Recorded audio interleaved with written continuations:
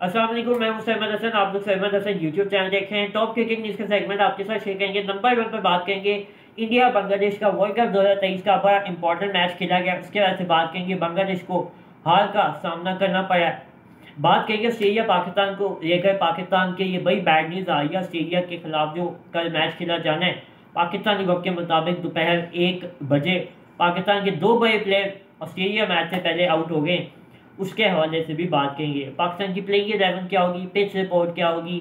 Weather क्या होगा? वो भी आपको बताएँगे। तो अगर आप आए चैनल पर पहली मरतबा चैनल को जल्दी से सब्सक्राइब कर दें। तीस हज़ार सब्सक्राइबर उन्नीस नवंबर दो हज़ार तेईस तक मुकम्मल करवा दें।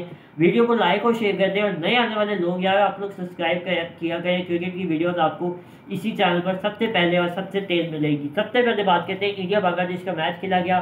पहले बैटिंग की बांग्लादेश की टीम ने टू फिफ्टी फाइव रन उन्होंने स्कोर किए बांग्लादेश ने। टारगेट दिया टू फिफ्टी सिक्स रन का, जिसमें तंजीम हसन ने शानदार इनिंग खेली फिफ्टी वन रन की इनिंग खेली। लिटन दास ने उनका बड़ा अच्छा साथ दिया एंड पे। महमूद रियाज ने वही शानदार फोर्टी सिक्स रन की नौ खेली। और बांग्लादेश टीम को रोक दिया कुलदीप यादव। और जो उनके बाकी पार्टनर हैं, रविंद्र जडेजा और मोहम्मद सिराज। जो जसप्रीत बुमराह उन्होंने सबने शानदार बॉलिंग की, जब इंडिया की बैटिंग का आगाज़ हुआ तो बड़ा पावर तोड़ और बड़ा ख़तरनाक उन्होंने स्टार्ट लिया। वही जारहाना बैटिंग का मुजाहर किया। कप्तान रोहित शर्मा और शुभमन गिल ने वही शानदार ओपनिंग 88 रन की पार्टनरशिप लगाई। शुभमन गिल 53 रन पर आउट हो गए। विराट कोहली ने 48 रन की इनिंग खेली। इनफैक्ट विराट कोहली ने नहीं, रोहित शर्मा ने 48 रन स्कोर किया और 103 रन किंग कोहली ने बनाए शानदार बैटिंग की।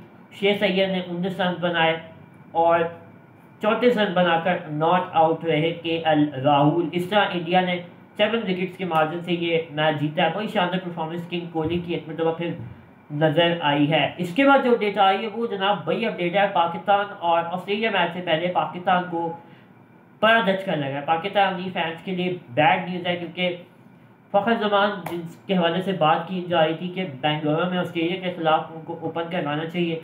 वो अपनी नी इंजरी की वजह से एक हफ़्ते के लिए पाकिस्तान के जो आने वाले मैचेस हैं, उनसे बाहर हो गए हैं। अनफॉर्चुनेटली वो अनफिट हो गए हैं। और दूसरी जानब जो आपके सलमान अली आ गए हैं, वो फीवर की वजह से उनको शदीद बुखार है। तो वो भी अवेलेबल नहीं रहेंगे कल के मैच के लिए, क्योंकि बड़ी बैड न्यूज़ है पाकिस्तान टीम के लिए। तो देखना पड़ेगा।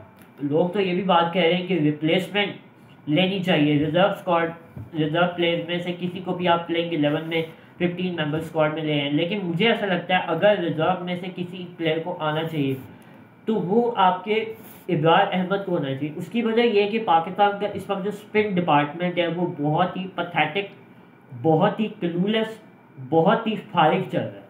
पाकिस्तान को इस वक्त शदीद ज़रूरत है प्रॉपर स्पिनर की। आप देखिए, आज बांग्लादेश ने कितना शानदार स्टार्ट दिया। उनके पंद्रह ओवर में नब्बे चौरानवे रन था। एक ही बल्लेबाज उनका आउट था।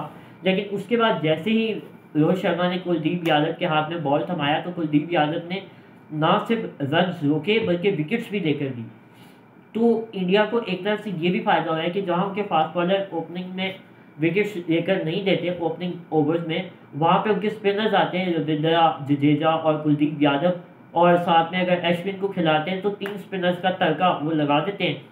तो रोहित शर्मा की कप्तानी से बाबर को भी सीखना चाहिए। ठीक है, पाकिस्तान के पास कुलदीप यादव नहीं है, लेकिन आपके पास जो रिसोर्स अवेलेबल हैं, आप उनका जो प्रॉपर यूज़ कर सकते हैं ना, आपके स्क्वाड में उसामा है, उसामा को आपने प्लेइंग इलेवन में नहीं खिलाया, अब मौका है आपके पास ऑस्ट्रेलिया के खिलाफ। आप शादाब या नवाज़ में से किसी भी प्लेयर को ड्रॉप कर सकते हैं। मेरा ख्याल है, आप शादाब को ड्रॉप करके उसामा को प्लेइंग इलेवन में जानते हैं वो आपको थोड़ी बहुत बैटिंग भी दे देगा और स्पिन डिपार्टमेंट आपका स्ट्रॉन्ग होगा। वार्म अप मैच में जो ऑस्ट्रेलिया के खिलाफ पाकिस्तान का वार्म मैच था। उसमें उसामा मीर ने बड़ी शानदार परफॉर्मेंसेज दिखाई थी और ये जो बैंगलोर का विकेट है, ये स्पिनर्स को सपोर्ट करेगा कल। तो पाकिस्तान की जो प्लेइंग इलेवन है, वो कुछ इस तरह से होगी। इमाम और अब्दुल्ला ओपन करेंगे। तीन पर बाबर, चार पर रिजवान, पाँच पर सऊद शकील छः पर इफ्तार अहमद, सात पर अभी तक की जो अपडेट है कन्फर्म है, उसामा मीर रहेंगे आठ पे आपके नवाज़ और बाकी आपके तीन फास्ट बॉलर शाहीन, हारिस और हसन अली। ये पाकिस्तान की कन्फर्म प्लेइंग इलेवन कल ऑस्ट्रेलिया के खिलाफ आपको मैच में नज़र आएगी वेदर बिल्कुल क्लियर है। अभी तक की जो अपडेट है, बारिश नहीं होगी कल एक बजे पाकिस्तान के वक्त के मुताबिक और इंडियन टाइम के मुताबिक डेढ़ बजे मैच खेला जाएगा। और मुझे लगता है अगर पाकिस्तान टीम टॉस जीतती है कल तो पाकिस्तान को पहले बैटिंग करनी चाहिए और एक लंबा स्कोर करना चाहिए, तीन सौ, साढ़े तीन सौ, उसके बाद ऑस्ट्रेलिया को, पाकिस्तान को दावत देनी चाहिए कि आइए आप स्कोर को चेस कीजिए। हाँ अगर ऑस्ट्रेलिया टॉस जीत के बैटिंग कर लेता है तो पाकिस्तानी फास्ट बॉलर व स्पिनर को जो ओपनिंग उनके बल्लेबाज हैं, जिसमें डेविड वॉर्नर हैं, फिर मिचल मार्च हैं, तीन पर स्टीवन स्मिथ आते हैं लबुशेन पाँच पे मैक्सवेल तो ऑस्ट्रेलियन बैटिंग को भी पकड़ना होगा। पाकिस्तान का ऑस्ट्रेलिया के खिलाफ वर्ल्ड कप 2015 में और 19 में अच्छा रिकॉर्ड नहीं है। पाकिस्तान उनसे हार चुका है वर्ल्ड कप में।